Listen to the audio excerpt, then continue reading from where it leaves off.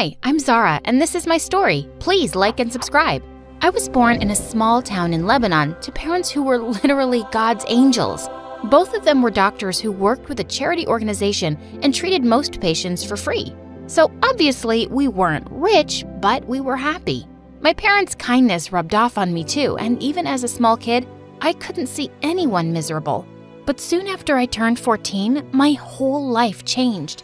My parents had gone to Syria as part of a medical team, and a few days later, they were reported missing.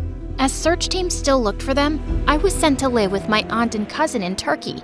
Aunt Rabia was extremely wealthy, and she lived in a huge mansion with her daughter Amel. Aunt welcomed me warmly and showed me around the house. There were beautiful decorative items in every corner. Oh, wow, this vase is so pretty. That's Amel's choice. We bought it in Paris last year. You've seen the Eiffel Tower? I've heard it's gorgeous. I suddenly stumbled backwards and knocked the vase off the table, and it shattered into pieces. Oh, I'm so sorry. It's all right. I'll I'll just call someone to clean up the mess, and we'll see the rest of the house later, okay? Gosh, why was I so clumsy? At dinner, I tried to be extra careful not to drop anything, and Aunt noticed my nervousness. Are you still thinking about those vases? Don't worry about it. Um, but uh, just in case Amel says something, uh, don't take it too seriously, okay? What do you mean? Well, her heart's in the right place, but she just has, um, a different way of expressing her feelings. Just know that we're both very happy to have you here. I wasn't quite sure what Aunt meant, and I was quite curious to meet this mysterious Amel now. Aunt had to leave when she had an important call during dinner, and as I cleared up the plates, a group of laughing girls barged in. One of them spotted me and said, Hey, you, go get something to drink for me and my friends. This girl must be Amel. Hi, I'm Zara, and I'm your. I didn't ask for your name, did I? Just go get me a Coke and an iced tea and a coffee. You know where the kitchen is, right? I nodded and returned soon with the girls' drinks, and no one even said thank you, which felt odd to me. Just then, one of Amel's friends accidentally knocked over her glass, spilling her drink on the table. Amel snapped her fingers at me, and I wiped up the mess and left. Later, as I was watching TV in the lounge, Amel walked in alone, and she suddenly looked livid. I know you're new, but are you crazy? You're a maid here, not a guest.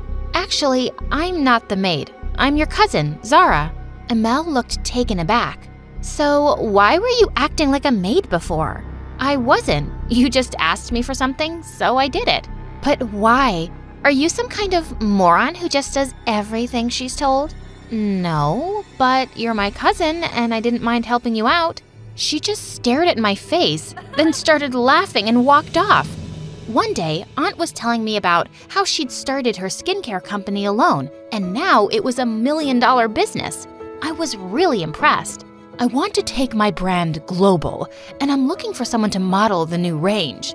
But you're so gorgeous yourself, Aunt. You should be the face of your products. Jeez. Yeah, she's letting you stay in her home, but there's no need to be such a suck up. No, I'm serious. Aunt is stunning, and you take after her, you know. As if. I guess Mom hasn't told you her little secret yet. And suddenly, she leapt forward and grabbed Aunt's hair. I thought she was gonna hurt her, but then Aunt Rabia's hair came off. It was a wig, and she was completely bald. Aunt looked really embarrassed, and I was shocked beyond words. But Amel just laughed and walked off singing. Mom is a baldy. Mom is a baldy. Aunt quickly tried to put her wig back on, but I stopped her. Amel shouldn't have done that. But Aunt, you're stunning even without your wig. Oh, Zara, you don't have to say that. I lost all my hair due to alopecia a year ago, and I know I look like a freak. No, you don't. You look strong and beautiful, like a superhero straight out of a Marvel movie. It really suits you. You really think so? Absolutely. I started school soon and I felt a little out of place, but I decided I'd just focus on my studies. One day, I was having lunch outside in the schoolyard when a football came flying out of nowhere and hit a young boy playing close to me, knocking him down. I immediately helped him to his feet, then took him to the bathroom and got him cleaned up. Are you feeling okay? Yeah, I'm fine. But wait, my iPod! I can't find it. It must have fallen down somewhere. Uh, don't worry, I'll help you look. We both went back to look for it, but when I found it, it was completely smashed, like someone had stepped on it. The boy was about to burst into tears, and I quickly said, Hey, don't cry. Um, okay, how about I give you mine? Uh, really? Is your mom gonna be okay with that? Yeah, I'm pretty sure my mom won't mind. There, it's all yours. Thank you so much. You're awesome. Suddenly, someone behind me spoke. Wow, awesome indeed. I turned around to see a tall, handsome boy holding a football. I'm sorry, that was my football that hit him.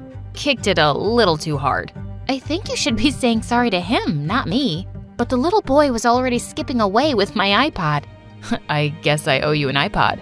Why'd you give yours away anyway? Because it's just an iPod, and look how happy he is. He was about to say something when suddenly Amel appeared and threw her arms around his neck. There you are, babe. I see you've already met my cousin. And Zara, this is my fiance, Marat.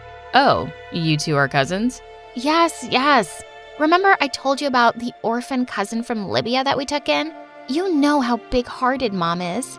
It's Lebanon, and I'm not an orphan. My parents will be back soon. But yes, my aunt is generous and amazing. And with that, I walked away. A few days later, Aunt was hosting a dinner for Marat and his parents.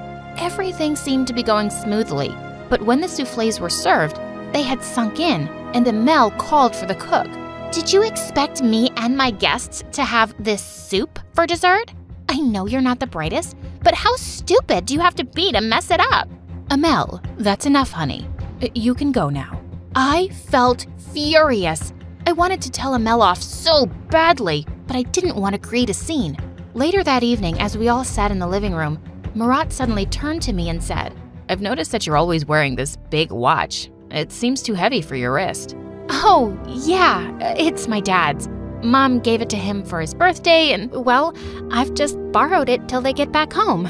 Zara, could you please not talk about your parents? It's just uncomfortable. It's not uncomfortable for me to talk about them. Yes, but it makes other people feel weird.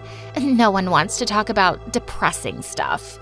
I felt angry tears stinging my eyes, and I quickly excused myself and went out to the garden. I found the poor cook crying outside, and I consoled her as best as I could.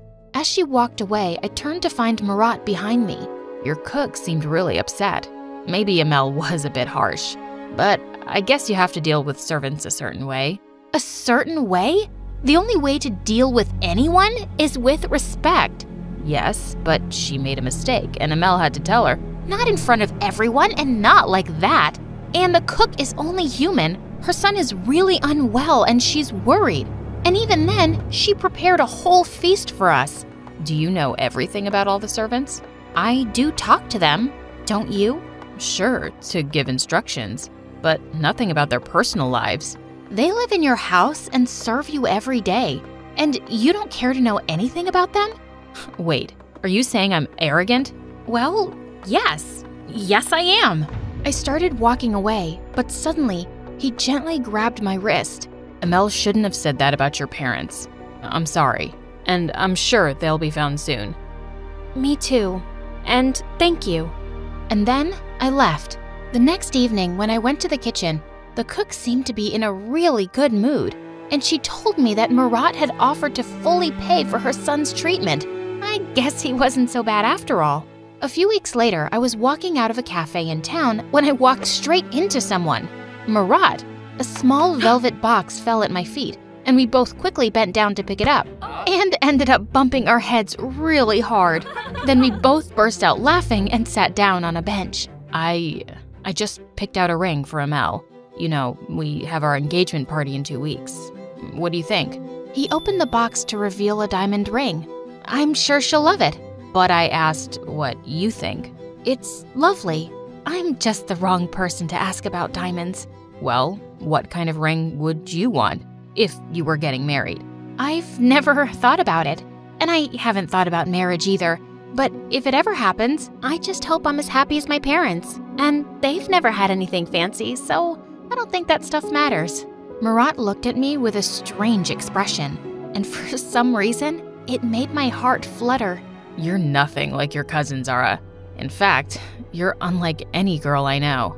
Just then, a few raindrops fell on us, and Marat said he'd drive me home. Nope, I'm walking. It'll be fun. But you'll get wet. Exactly.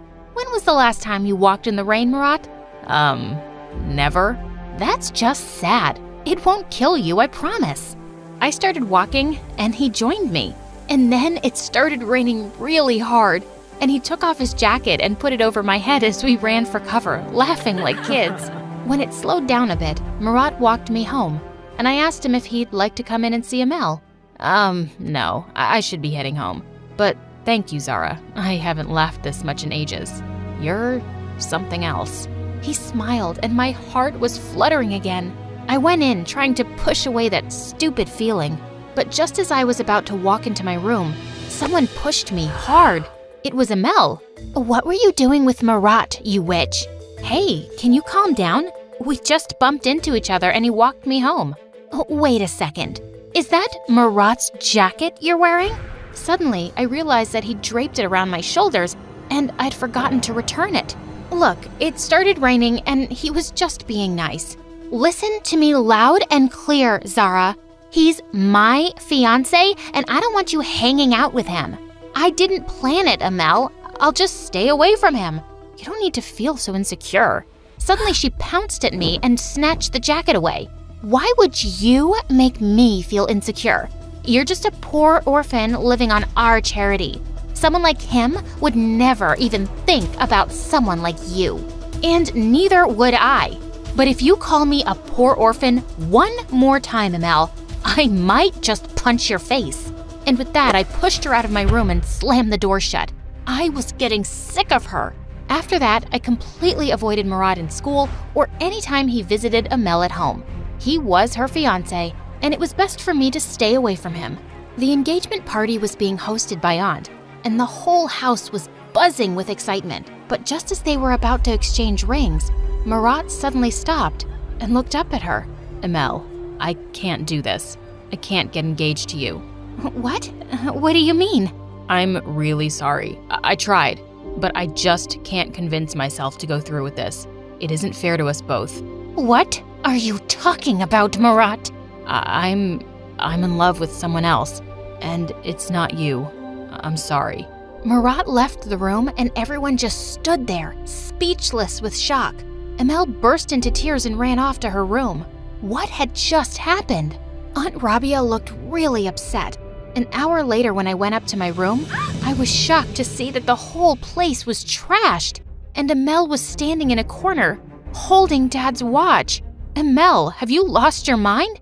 And what are you doing with my watch? I was waiting for you to come so I could show you. And with that, she put my watch on a table and smashed it with a hammer. Oh my god, no! What? What did you do? That was my dad's. How could you? Well, I don't think he's coming back for it. And suddenly, I snapped. I leapt forward and grabbed her hair, and we broke into a huge fight. Moments later, Aunt walked in and pulled us apart. What's gotten into you two? She stole my fiance. She's a snake, Mom. I don't know what you're talking about, you psycho. Aunt took Amel away, and I climbed into my bed and cried for what seemed like hours. The next day, Aunt came into my room with a really serious face. Zara, I'm sending you away to live with my cousin in another city, and you'll be attending school there. I'll pay for everything, of course. I stared at her face, feeling a bit heartbroken. I loved my aunt, and I didn't want to be away from her. I wish you would believe me that this isn't my fault, Aunt Rabia. I do believe you, but I have to take care of my daughter, and I don't think it's a good idea for you two to be around each other.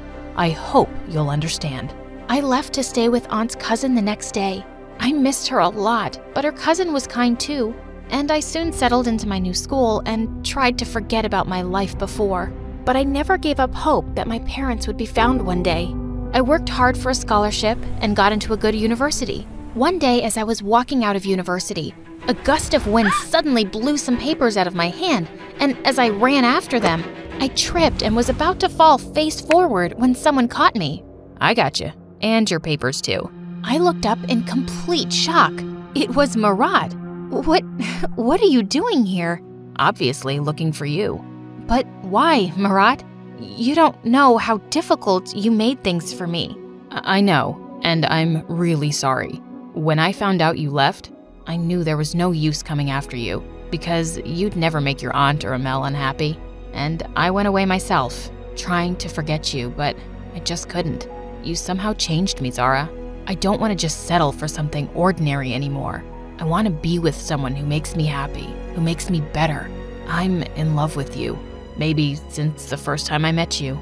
It was the sweetest thing I'd ever heard, and my eyes welled up. I never really stopped thinking about you either, Marat. But I don't think we can be together. My aunt would be convinced that I broke you and Amel up, and she'd hate me. That's another reason why I'm here. Your aunt's been sick for a while, and I think she'd really like to see you. There's something she wants to tell you. I immediately dropped everything and went to see Aunt Rabia, and I was shocked to find her so weak. Why didn't you tell me you were sick, Aunt? Who's been taking care of you? Where's Amel? Amel got married to a rich, much older guy some months ago and she left. She hasn't visited me since. Well, I'm here now. Aunt tearfully took my hands. My darling Zara, I'm sorry that I ever sent you away from me. I was angry then, but I don't blame Marat for falling for you. You're the best person I know, and you have my blessing to be with him. You deserve every bit of happiness. I hugged Aunt tight, and then she said something that shook my world. There's something else, but I, I had to be absolutely sure before I could tell you. I got a call from an agency in Syria that had been trying to reach you. Zara, your parents have been found. I spoke to them myself, and they're flying in tomorrow. I just couldn't stop the tears from flowing. It sounded unbelievable, but I'd never, ever lost hope. I left Aunt to rest and found Marat waiting outside. You knew about my parents? I did, but I had to let your aunt be the one to tell you. I can't wait to see them again and introduce them to you. I'm so happy for you, Zara. It looks like it's gonna rain. Let's go for a walk, shall we? I'd really love that.